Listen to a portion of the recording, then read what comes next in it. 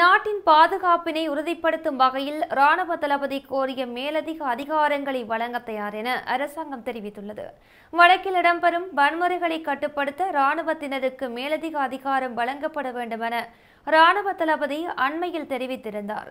இந்த நிலையில் இது தொடர்பாக கொழும்பில் நேற்று இடம்பெற்ற நிகழ்வொன்றில் கலந்து கொண்டு கருத்து வெளியிடும் போதே பிரதி அமைச்சர் அஜித் பி. பரேரா இதனை தெரிவித்துள்ளார். முன்னரும் இதுபோன்று இராணுவத்தினருக்கு மேலதிக அதிகாரம் வழங்கப்பட்டுள்ளதாகவும் இந்நிலையில் நாட்டில் எந்த பகுதியிலும் தேவை ஏற்படின் இராணுவத்தினருக்கு மேலதிக அதிகாரம் வழங்கப்படும் என பிரதி அமைச்சர் தெரிவித்துள்ளார்.